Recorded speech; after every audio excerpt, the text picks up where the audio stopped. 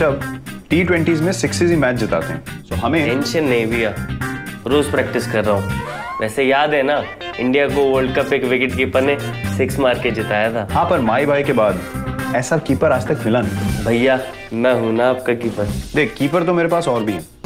Warm ups में कौन खेलेगा? सोचते हैं। क्या विराट भैया। ये है तैयार। अभी है ना टू लिव द गेम देखिए ICC men's T twenty world cup India warm up matches 18 और 20 अक्टूबर।